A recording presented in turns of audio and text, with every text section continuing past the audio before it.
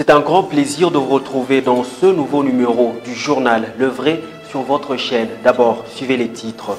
Message de revoir de Joseph Kabila devant ses compères de la sous-région lors des assises de la SADEC ce vendredi en Namibie. Des détails dans ce journal.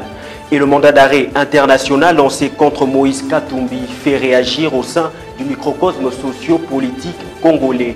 Dans ce journal, vous suivrez la réaction des Kyungu Akumwanza, cadre au sein de la plateforme Ensemble pour le changement. Et Aaron Mukula, cofondateur du regroupement politique Alliance des paysans indépendants, parti cher à Kokonyangui, est l'invité du vrai journal. Madame, Messieurs, voici donc l'essentiel des titres et bienvenue à tous.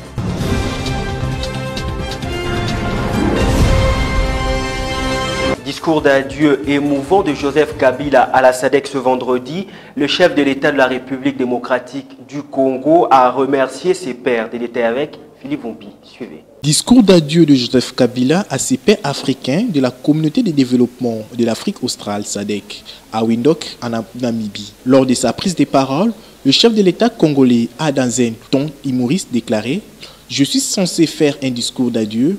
Pourquoi un discours d'adieu est-ce que vous allez me manquer ou je vais vous manquer? C'est demandé Kabila.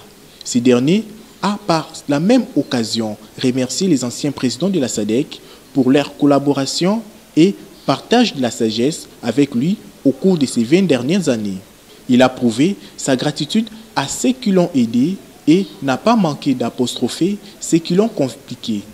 Il a prouvé sa gratitude à ceux qui l'ont aidé et n'a pas manqué d'apostropher ceux qui l'ont compliqué. Kabila a demandé à la SADEC de veiller à ses principes fondamentaux et a conclu par une phrase Je ne vous dis pas au revoir, je vous dis à bientôt.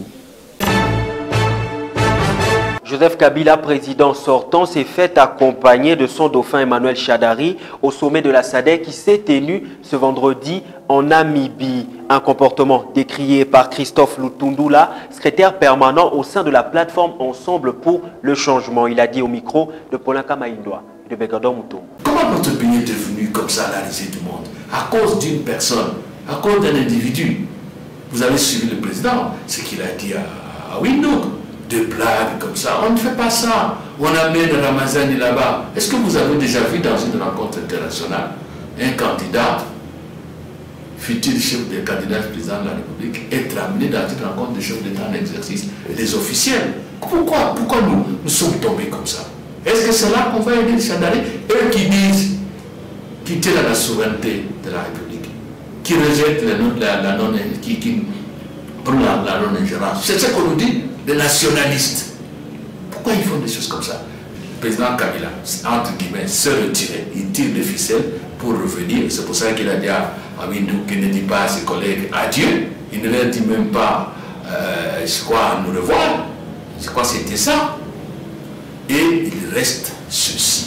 Et comment, comment, comment nous, pouvons nous descendre ici là Voilà la fait. Donc, c'est du bluff. Là. La question de Katumbi, c'est une question politique. Et il devra se résoudre politiquement. Côté droit, rien, c'est le président Kabila, avec tout le respect que je dois, l'individu Joseph Kabila, qui a peur et qui instrumentalise les institutions de la République, ramené au niveau le plus bas, traité au rabais pour nuire à Moïse Katumbi. Toujours dans le même registre, le discours de revoir de Joseph Kabila lors de la réunion de la SADEC en Namibie suscite des réactions au sein du microcosme socio-politique approché. Les politiques ont réagi au micro de Jocelyne Luanga. Regardez. Pour Pati Katanga, coordonnateur de Front commun, que le président Kabila dise adieu ou à bientôt, il est désormais au passé. Adieu ou qu'il dise au revoir, il est parti. Donc arrêtez de créer les débats où il n'y en a pas. On ne va pas là commencer à discuter sur adieu ou à bientôt ou non. Adieu ou à bientôt, le président Kabila, c'est désormais au passé. Bon, la réunion de la SADEC, ce qui est désolant, c'est que nous avons constaté que Kabila draine Chadari comme son sac à main. Hein? Il draine Chadari comme son sac à main ce n'est pas valorisant pour le candidat Chadar. Ce n'est pas valorisant pour lui. de suivre Kabila comme un petit garçon. Partout où Kabila va, Chadar, il le suit comme un petit garçon. Ce n'est pas valorisant. Je préfère le président de la République, qui est fin mandat, aille faire ses devoirs régaliens d'un chef de l'État et que Chadari, qui est candidat, fasse le travail que doit faire un candidat à l'élection présidentielle. Et non la confusion des deux. Là, nous sommes complètement dans la confusion. Chadar est comme un petit garçon là, qui suit Kabila derrière. C'est quoi ça? De son côté, Dorcas Adikoko, allé de l'UDPS, martèle qu'à bientôt du président Kabila, si après cinq ans. Heureusement qu'il n'a pas dit adieu, mais c'est ce que je lui ai toujours dit. Si vous avez confiance aux dialélistes qui sont tout autour de vous, ils vous ont dit qu'ils vous ont aidé, mais vous, par contre, vous avez dit que vous n'avez pas trouvé 15 personnes valables pour vous aider. Écoutez, monsieur le président, le président russe avait fait ça, il est parti. Cinq ans, c'est pas beaucoup. Si ces gens-là ont confiance en ce qu'ils font, ils reviendront battre campagne pour vous, vous allez redevenir président. Le président russe avait fait. Mais dans notre pays, ça ne va pas marcher comme ça. Parce que s'il avait un bon bilan à présenter comme en Russie, on allait dire Nio, on vous accepte. Mais ce qu'ils ont fait de notre pays, la manière où ils ont laissé notre pays se dégringoler, je pense que nous, nous allons, ça ne va pas marcher avec nous. Non, même pas dans les rêves. Donc, à, bientôt, pour moi, c'est dans cinq ans. Parce que nous, nous allons respecter la Constitution. Hein. Parlons autre chose, la question de la double nationalité refait surface. La candidature de toute personnalité détentrice d'une double nationalité sera invalidée par la CENI. Une liste des noms lui a déjà été transmise et le ministre de la Justice, Alexis Tambouemouamba, a saisi officiellement le procureur général près la Cour de cassation à ce sujet. Pendant ce temps, les services compétents continuent à mener des investigations pour dénicher d'autres cas. Ici de noter que les personnes concernées, même élues, seront déchues de leur mandat et poursuivies en justice.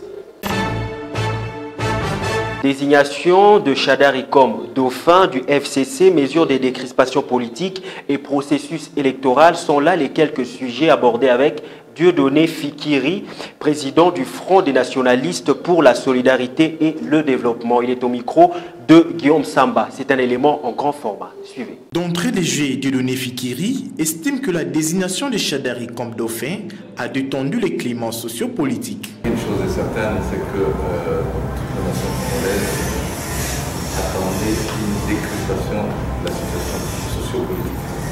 La tension est quand même assez forte, tout le monde impatient de connaître la position du chef d'État.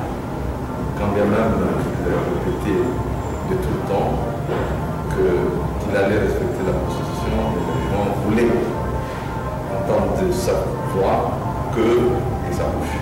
Pour euh, le FNSD, c'était une très très bonne nouvelle, à l'instar de toute la nation congolaise, parce que je crois que dans la ville de Kinshasa particulièrement, parce que nous vivons à Kinshasa, nous avons tous constaté que, aussitôt qu'on a prononcé le nom de M. Chaleur comme dauphin de Kabila, la tension a chuté. Par ailleurs, l'homme fait savoir que les amnistiés continuent de croupir à la prison de Makala, et cela en dépit de l'application de mesures de décrispation. Moi, j'appelle louable parce que franchement, il n'était pas tenu de faire s'il n'était pas respectué le, texte.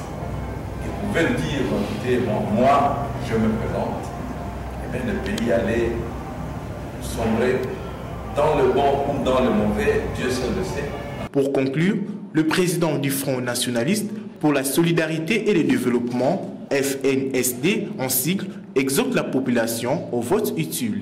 Il ne faut pas aller dans le sens de dire Ah, parce que tel est cousin, tel est grand frère, tel est de, de, ma province, je dois lui donner ma voix. Eh bien, tu es en train de vendre ton avenir. Parce que quand la vie est difficile, elle est difficile pour toutes les Congolaises et tous les Congolais indistinctement. L'inflation ne choisit pas.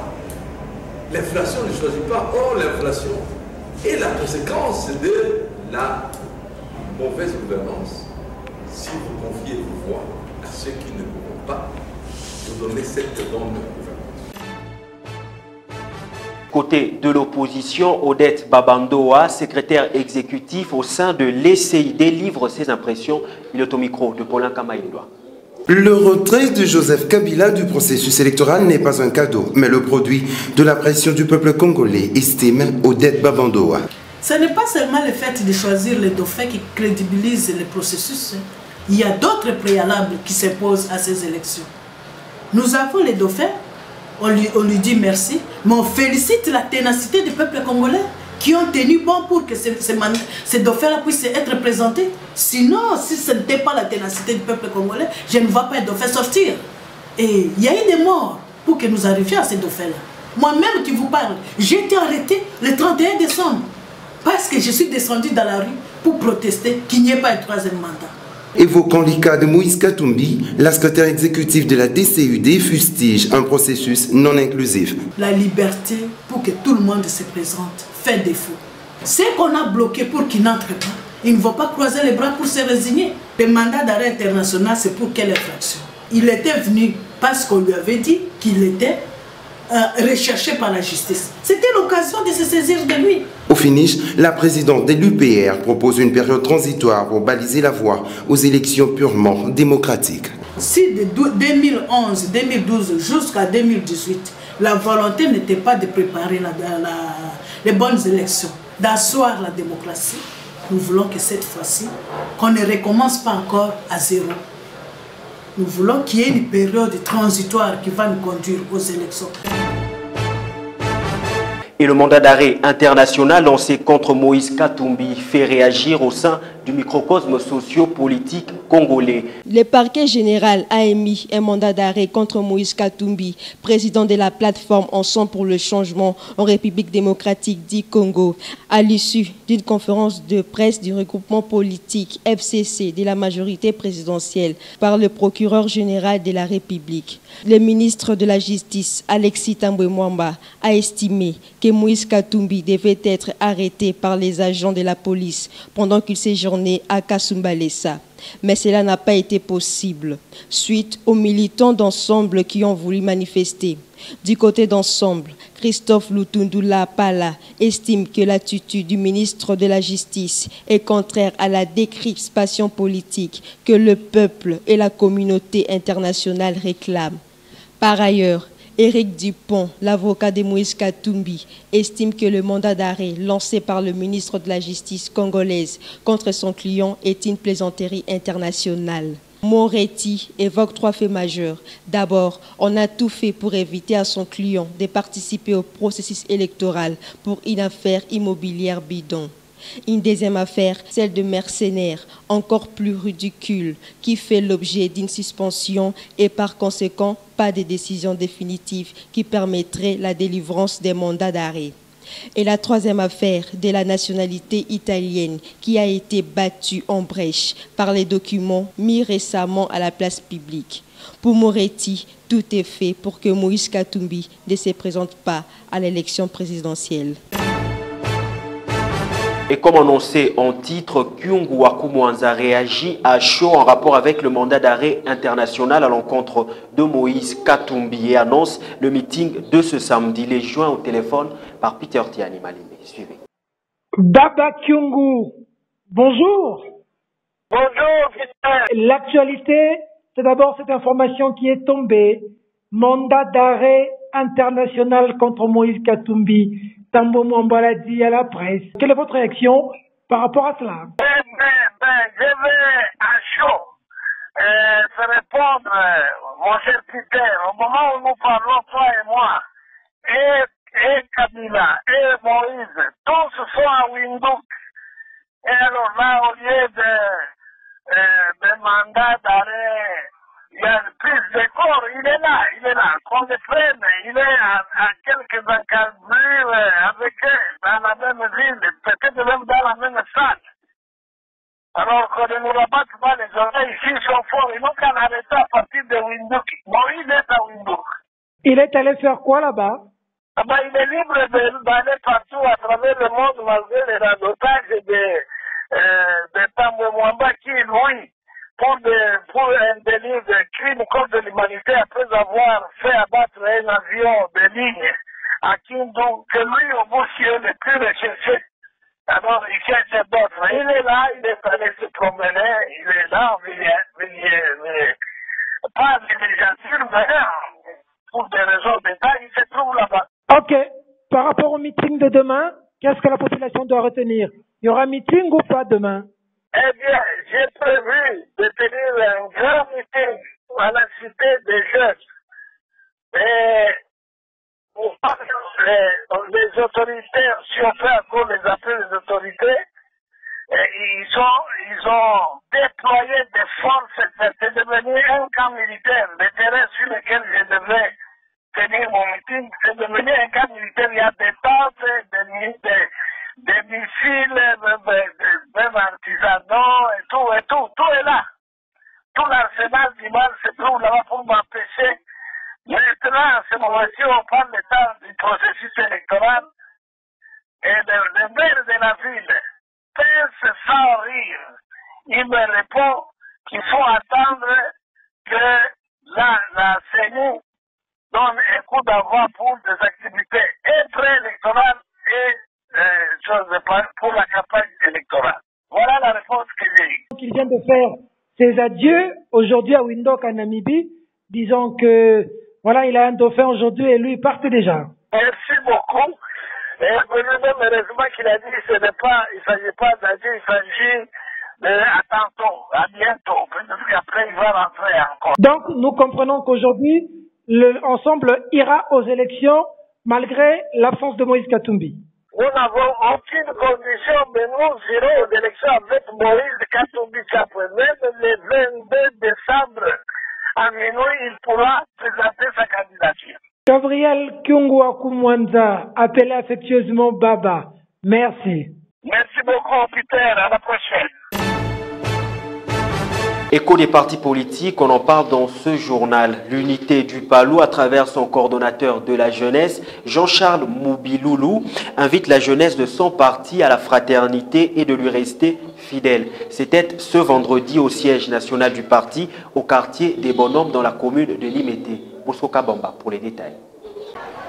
Qui ignore la légende prophétique connue par tous, qu'à son départ pour l'exil, l'homme aurait déclaré, je paraphrase, même s'il me reste une minute à vivre, je tiendrai la direction de cette nation en tant que président.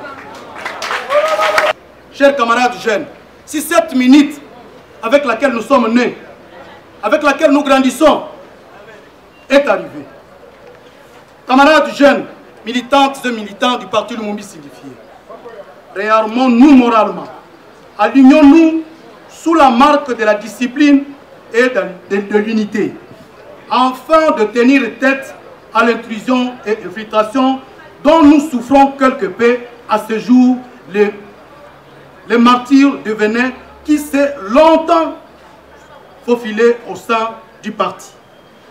De ce fait, le parti Lumumbis unifié, unifié par nous, notre pays, notre parti, je voudrais dire, resta un et indivisible. Nous nous dressons donc farouchement contre toute tentative de division ou de manipulation de certains déterminés à satisfaire leurs appétits démesurés. Pour ne pas s'attarder à cette forme de distraction, nous appelons donc tous les jeunes du parti Lumumbis unifié en particulier et congolais de tous bords de s'unir comme un seul homme derrière la candidature d'Antoine Gizenga en vue d'une victoire certaine ce 23 décembre 2018.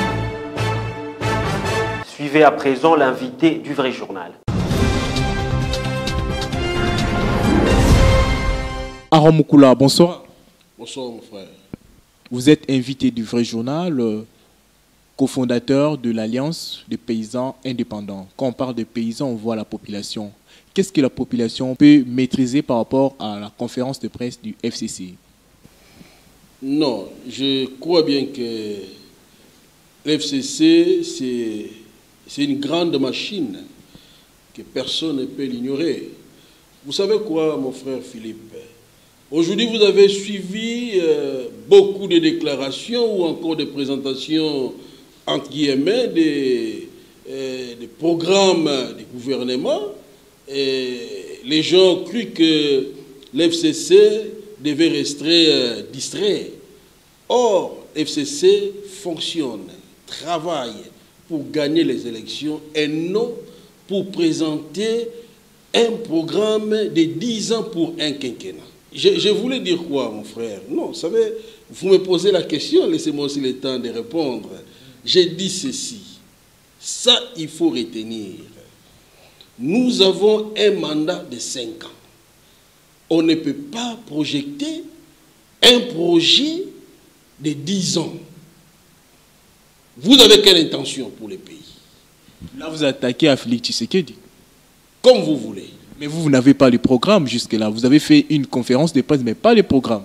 Mais je vous dis, mon frère, le moment venu, vous allez être surpris. Un programme des Congolais. Ce n'est pas un programme de Didier Index de 10 ans pour un quinquennat. Hein? Ça, je vous dis clair. Et vous avez encore un autre programme.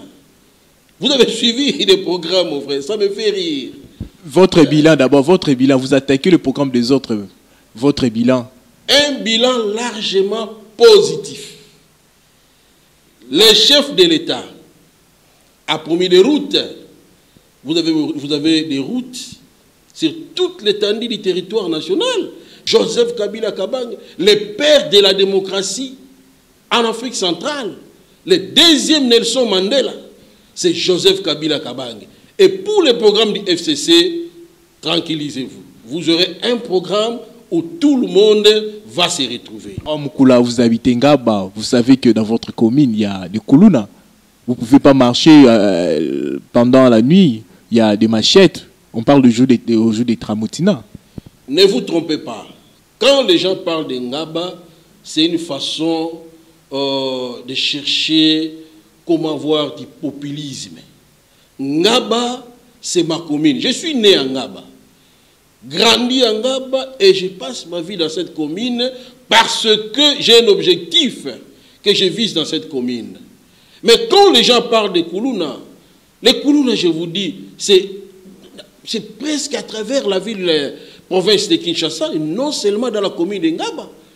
Et nous sommes en train de nous travailler pour que la commune de Ngaba, notre pouvoir, revienne entre les mains des autochtones. Vous savez, à Ngaba, nous avons un problème. Même un député provincial n'est pas de Ngaba. D'où nous avons intérêt aujourd'hui. Je crois, demain vous serez avec moi sur le terrain, vous verrez comment est-ce qu'Aaron Moukole est en train de ratisser large pour que nous puissions encore représenter demain la commune de Ngaba avec les idées pour le développement de la commune? Qu'est-ce que vous dites par rapport aux gens qui disent que votre bilan c'est Kabila, soutien Chadari et Kabila est votre héros national? Qu'est-ce que vous allez dire par rapport à ça? Parce que jusque-là, il y a d'autres qui disent qu'il faut, faut... Vous savez, aujourd'hui, Kabila élevé euh, Joseph Kabila au rang de héros national, je peux dire aujourd'hui, ça dépend. Ce n'est pas d'abord les titres qui comptent, mais au moins le respect de la Constitution. Que Joseph Kabila a honoré le peuple congolais.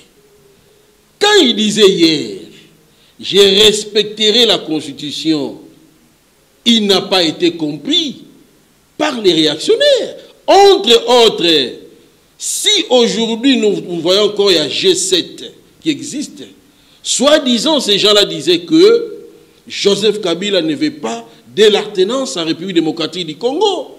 C'est ça la création des G7. Et aujourd'hui, je me pose des questions. La Constitution, elle est respectée par Joseph Kabila Kabang. Est-ce que G7 va encore tenir son discours par rapport à la personne du chef de l'État au respect de la Constitution. Hier, les gens ont dit Joseph Kabila dégage parce qu'il ne veut pas respecter la Constitution. Voilà là où nous sommes aujourd'hui. Le chef de l'État a honoré le peuple congolais. Étant donné qu'il a honoré, a honoré le peuple, le peuple sait comment les récompenser en soutenant Chadari le candidat du peuple, les candidats des nationalistes. C'est lui votre, Les pro- candidats lui votre programme. Qui fait peur. C'est lui votre programme. Non, non, non, vous savez quoi? Je vous dis, les programmes, on ne peut pas aujourd'hui présenter Emmanuel Chader comme étant un programme d'un gouvernement. Non, Emmanuel Chadari, c'est notre candidat. Emmanuel Chadari, c'est notre produit. C'est produit consommable par le peuple congolais. Et le peuple congolais a entendu longtemps. Et dès qu'il a compris qu'il y a un monsieur qui est fidèle, loyal au chef de l'État Joseph Kabila Kabange, le peuple a compris que non, comme Kabila a respecté la Constitution, avec l'FCC, on peut que marcher de respect en respect. Et qu'est-ce que vous dites par rapport aux gens qui disent que vous, euh, vous avez... euh, Chadari ne pèse pas, c'est pour cela que vous avez ch- chassé Katumbi hors de son pays?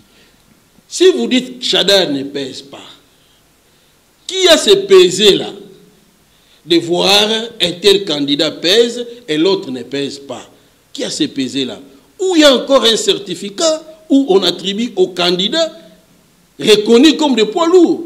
Ça aussi, c'est un problème. Vous voulez aujourd'hui qu'on vous dise celui qui pèse, c'est un héritier Ou qui encore? Vous voulez que celui qui pèse, que celui qui était à la CPI, c'est celui-là qui pèse. Vous voulez qu'on vous dise que celui qui devrait être là, un clandestin sans papier, que celui-là qu'on devait compter. C'est pour cela que vous avez lancé un mandat d'arrêt international contre lui Je vous dis, ça c'est la justice congolaise qui fait son travail. Je ne suis pas le ministre de la Justice pour me justifier ici. Était à Kasumbalé, ça, vous ne l'avez pas arrêté. Non, mais je vous dis, la République démocratique du Congo n'est pas une république bananière où on va autoriser tout le monde à entrer dans ces pays, même s'il n'a pas de papier, un clandestin. Est-ce que selon vous, Chadari, sincèrement, Chadari a le charisme de diriger ces pays? Non, je crois bien que euh, mon frère euh, Philippe, je respecte beaucoup les vrais journaux. Hein? Une émission très suivie, respectée même par la population. Quand vous dites ça, les gens vont se moquer de vous pour rien. Chadar, un doctorant, vous allez le comparer à quelqu'un qui n'a même pas été un cambiste. Ne fût-ce que ça? Ne fût-ce que ça? Quand les, les gens disent non, il ne faut pas parler de l'expérience, mais dit. Donc, il n'y a, a plus d'importance euh, d'avoir un diplôme dans ces pays. Parce qu'on encourage n'importe quoi. Pendant que on vous envoie à l'école, vous avez préféré de rester à Matongé, en Bruxelles. Là, vous vous vous adressez à qui? Mais dit, l'héritier politique, l'héritier que vous connaissez, hein, un héritier, candidat président de la République. il y, a, il y a beaucoup de, il y a beaucoup de candidats à président de la République, il est, il est héritier de Kabila. Je vais, je vais vous dire une chose. Ramaphosa est arrivé ici. Il reçoit Chadari. Ça devient un problème pour l'IDPS. Mais quand l'IDPS fléchit en Bruxelles auprès de Didier Rendels et Soros, mais on observe. Chadari est reçu par Ramaphosa ça devient un problème. Mais il ne faut pas oublier la politique, c'est un rapport de force. Il faut qu'il y ait l'alternance. Le chef de l'État a même donné une leçon aux chefs des partis politiques qui doivent aussi faire l'alternance dans leurs partis politiques. Nous allons aux élections. Notre programme sera bientôt dévoilé au peuple congolais parce que c'est une marchandise qui doit être consommée au peuple congolais. On ne va pas le laisser comme ça, mais nous vous disons au moins, le 23 décembre, nous allons battre une opposition en perte de vitesse. Une opposition qui ne sera jamais unie. Koula, merci. À moi de vous remercier. C'était là Aaron Mukula, cofondateur de l'Alliance des paysans indépendants parti cher à Kokonyangi. C'est donc ici que prend fin cette édition du journal. Merci de la sympathique attention que vous nous avez accordée dans la commune de Ngaba ainsi que partout ailleurs dans le monde. Mesdames et messieurs, ce journal est terminé. Au revoir.